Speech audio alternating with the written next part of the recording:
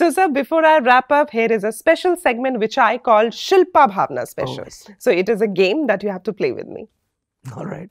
Sir, I'll be reading out some statements, but there are some fill in the blanks. So, you have to fill in those blanks. Okay. So, a chartered accountant is um, Is a very trained professional.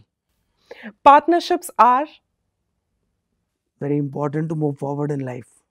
Investors and stakeholders are They are the ones who make a company because Yeah. they take risk.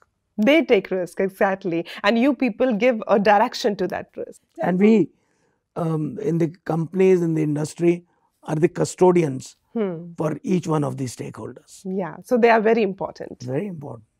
telecom industry belongs to The nation wow and the institute of chartered accountants of india is is again something which is a tool for nation building.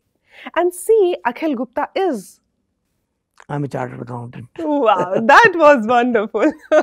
Thank you so much, sir, for joining us in this Pleasure. interactive session. Thank you it was really great to talk to you. So much learning, so much inspiration and motivation. My pleasure. Thank, Thank you so so much, sir.